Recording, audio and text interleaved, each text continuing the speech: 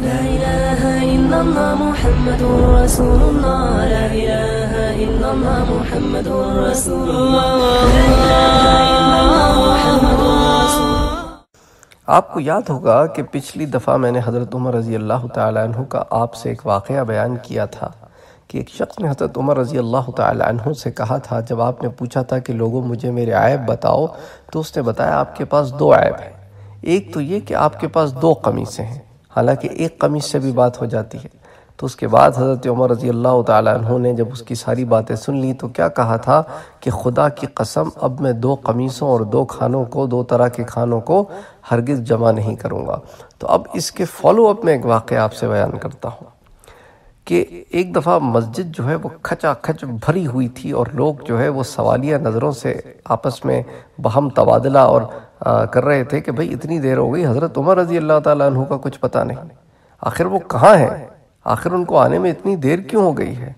तो चंद लम्हों के बाद हज़रत उमर रज़ी अल्लाह तु मस्जिद में दाखिल हुए और मिंबर पर चढ़ने के बाद लोगों से कहने लगे मैं आपसे माजरत चाहता हूँ। अल्लाह अकबर। खलीफ़ा वक्त अमीरमिन हज़रत उमर फ़ारूक मंबर पर आट कर कहते हैं, मैं आपसे माजरत चाहता हूँ, मैं असल में अपने ये कपड़े धो रहा था और मेरे पास इसके सिवा और कोई कपड़ा ना था।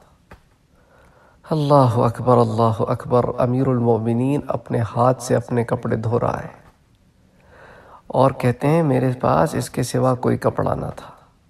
आज एक छोटी सी मस्जिद का कोई मौज़िन हो इमाम तो बहुत बड़ी बात है मौज़िन हो, वो ज़रा ताखीर से अजान दे दे तो उसकी चेहरे पर कोई आसार नदामत नहीं होते। इमाम साहब अपनी मर्ज़ी से पंद्रह मिनट लेट भी आ जाएँ तो उनको इस बात का कोई ख्याल नहीं होता।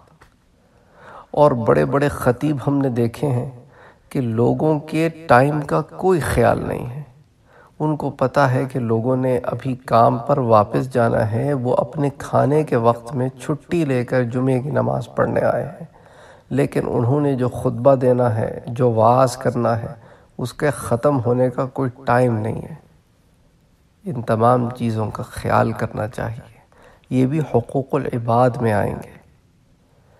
इस वाक़े को जो मैंने आपसे बयान किया है, इसको अहमद ने, इमाम अहमद ने अजहद में रिवायत किया है।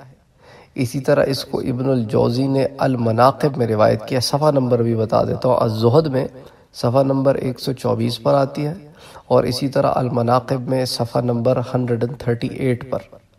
हमारे चैनल को सब्सक्राइब करना ना भूलें और बेल के आइकॉन पर क्लिक करें ताकि आपको रेगुलर नोटिफिकेशन अपडेट्स मिल सकें।